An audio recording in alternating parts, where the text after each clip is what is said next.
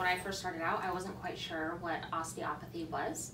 And then um, my pre-med director said, hey, have you ever thought about osteopathy? And sort of relayed it to me as mind, body, spirit, right? Nice. So Mhm. it encompasses the whole person. And I really felt that that spoke a lot to me. Yeah.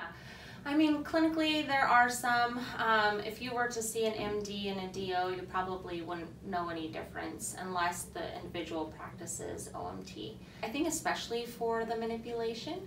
Um, with that being said, some MDs um, in their residency training do decide to learn about manipulation and offer it um, in practice. But I would look out for individuals who do practice manipulation. So, um, someone who maybe has a holistic approach to medicine, um, and then being able to, I really like having that in my tool belt. I think empaths are wonderful. That's a great trait to have, is being an empath and understanding um, where your patients are coming from.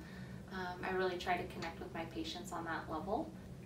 We're all, our focus is on patient care and doing the best we can for our patients. Yeah, well, um, I am so proud and so grateful to be an osteopathic physician.